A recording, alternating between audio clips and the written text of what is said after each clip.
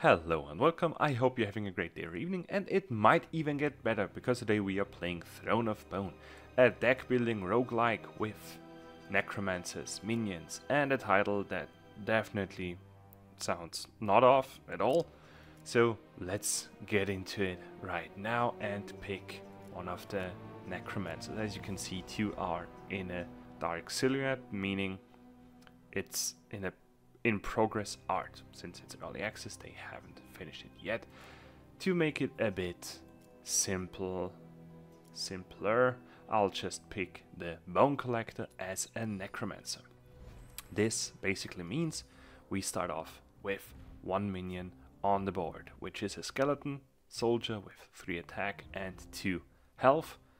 And how the fighting works is we proceed and it starts the auto battling system, meaning they will now fight and hit each other simultaneously. So they deal 2 damage, we deal 3 damage, both are dying.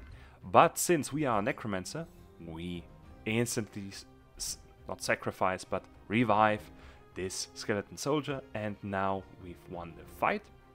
Got two skulls, so we can buy more minions which I will do right now by buying the Deadeye Archer, which is a ranger, a ranged character. He doesn't take damage when he attacks, so this one works quite nicely, especially because the next two enemies are already around the corner.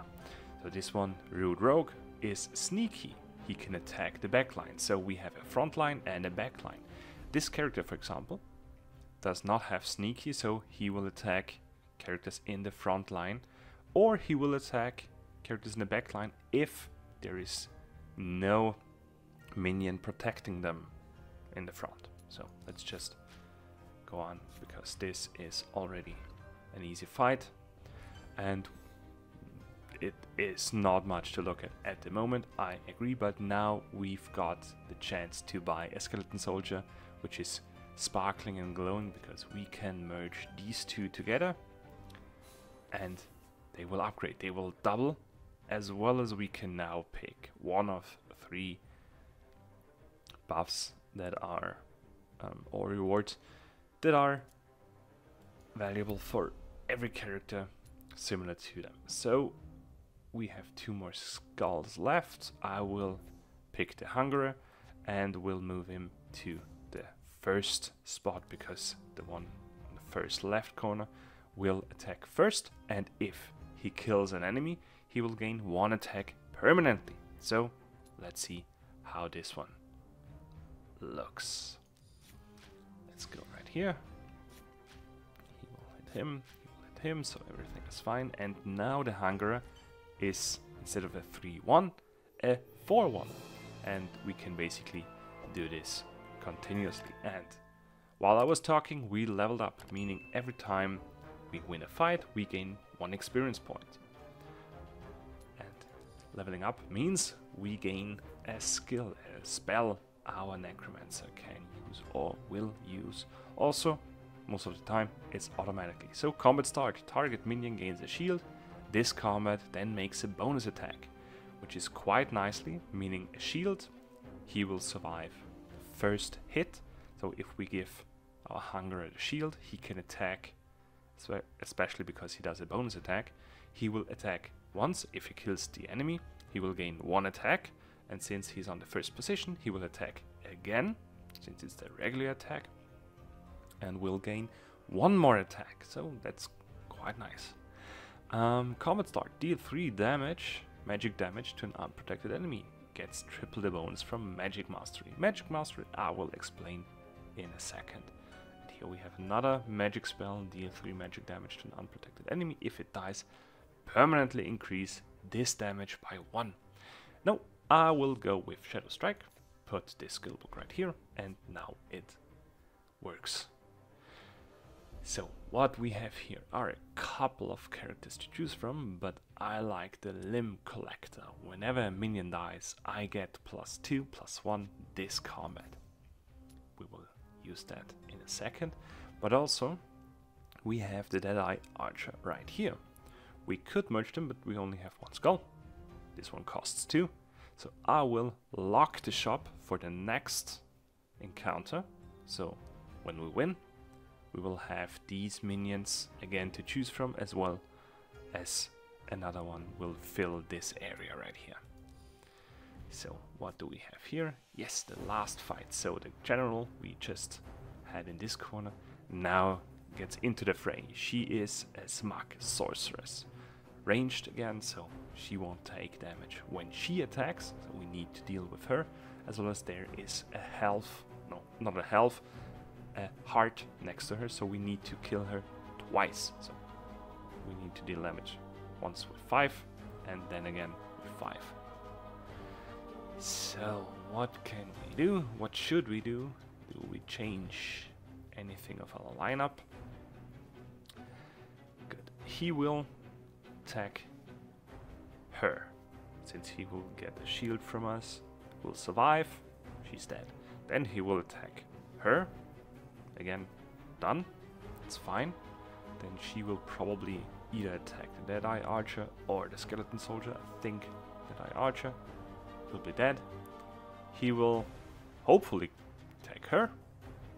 It's always different.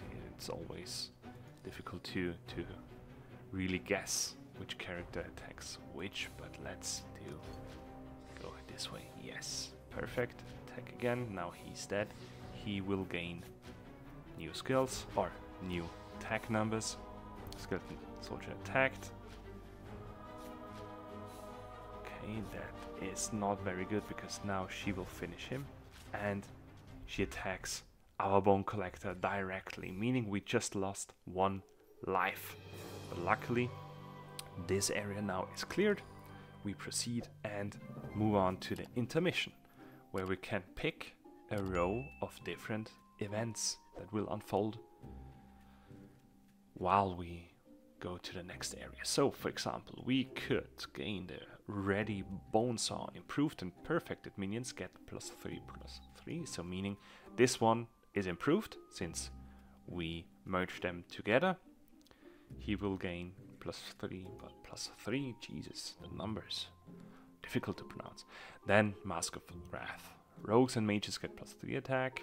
We have a rogue, a warrior, sorry, as you might not have seen.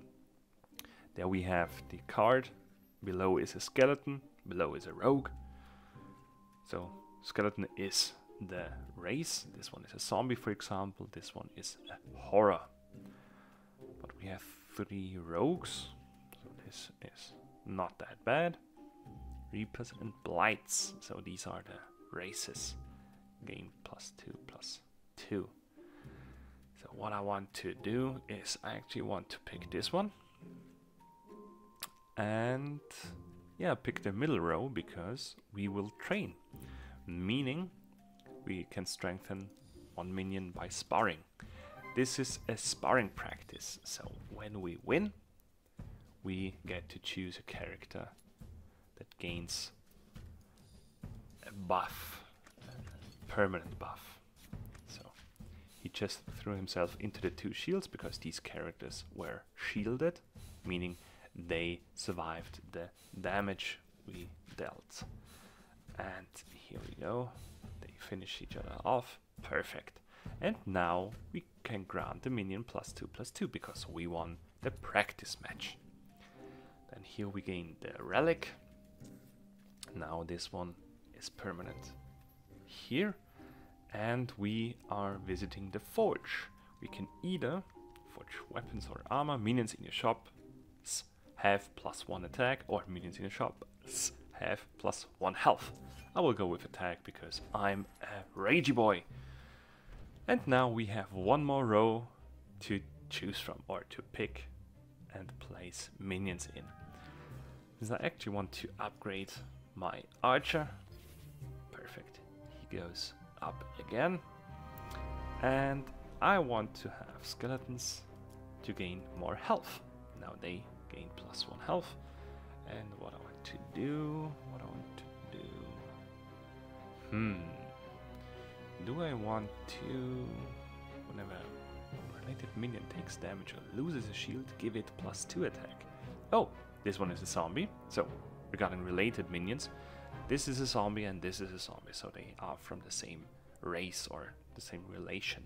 If we place him here or here, regardless where we place him, when he attacks and takes damage or loses a shield, since we will give him most of the time a shield, he will lose a shield and gains in this turn plus 2 attack, which is nice. So, what do we have here? We have a guard paladin and a battle blesser. He's ranged and turn start grant 1 plus 1 plus 1 to my highest attack ally, so he will gain damage and health every turn this Battle Blesser is active. And here we have Predatory Plant. He is deadly. When we attack him, our minion dies. So let's go. Hopefully. Nope. He will attack him. And dies. No! The shield was just blocking this effect. Now they attacked. They give him a plus 1 plus 1 and that's basically now done. Wonderful. We can also, since it is quite slow, the battle animation, we can increase the battle speed to 2, 3, 5, 10. So if you go to 10, you basically finish a run in 5 minutes. But now we have, yes, let's do this one, because this one is a zombie, it is shielded, so it has a shield. If the shield is being absorbed or finished off, he will gain plus 2 attack. Let's move on and do a couple more. Wonderful. I'll give him a shield again. He will finish the plant. He will finish this one. Wonderful. As you can see, now the animation is going faster. A lot of faster. A lot of faster. What a wonderful sentence. so, what can we have? Here we can pick another limb collector and move them together. So either our rogues everywhere gain one health permanently or one attack permanently. This one is a rogue. Uh, this one is a rogue. Mm, these are warriors, so... I mean, we can also pick horrors, but this one is the only horror in our setup. So let's give the rogues health. Perfect and move on to the next battle. As you can see up here, we have four battles per castle.